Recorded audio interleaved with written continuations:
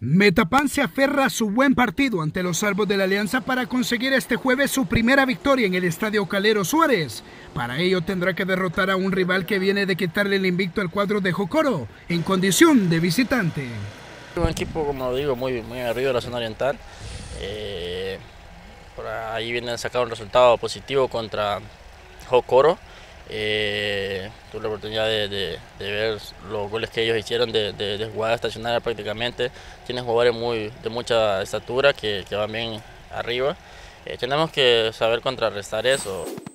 Sabemos que desconocemos que es sumar de tres en casa, pero creo que la forma de juego y la que, la que el profe quiere la estamos adaptando poco a poco. Creo que vamos lento pero seguro y sabemos que, que primero Dios, eh, de a poco vamos a ir saliendo con, con la situación y creo que, que, vamos a hallar nuestro fútbol y, y empezar a, a, meter goles, cuidar nuestro cero y así también eh, sumar puntos de tres. Con respecto al equipo que empató el pasado sábado, el técnico de Metapán hará al menos dos modificaciones para enfrentar este jueves al equipo de Pasaquina. Ante la baja de Alex Mejía por sanción, Gerardo Girola será el dueño de la banda izquierda del cuadro calero. La otra variante que pretende el entrenador peruano será en el ataque donde podría darse el regreso del brasileño Tony de Souza.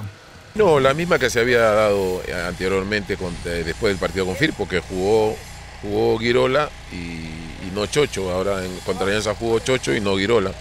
Ahora regresa Girola por Chocho, daba la expulsión. Los de arriba están jugando los mismos. Por ahí podemos ver alguna variante para, para descansar un poquito a los que a los que vienen jugando como titular, no, no por, por mal juego ni cosa por el estilo. O sea, es una rotación nada más por desgaste que, que intentamos hacer con dos o tres jugadores.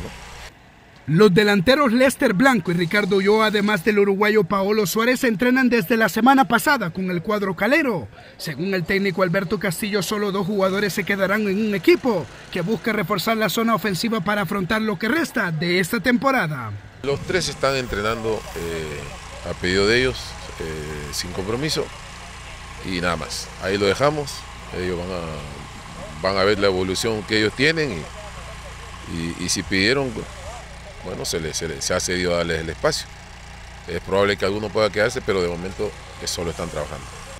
Sin la presencia de los jugadores de la selección nacional, Isidro Metapán concluyó su preparación con miras al partido adelantado de la jornada 8 ante el cuadro de Pasaquina. En este escenario deportivo, el equipo de Chochera Castillo no podrá contar con el defensa Alex Mejía, pero recupera el portero nacional, Luis Contreras. Con imágenes de David Salada informó para marcador final, Guillermo Estrada.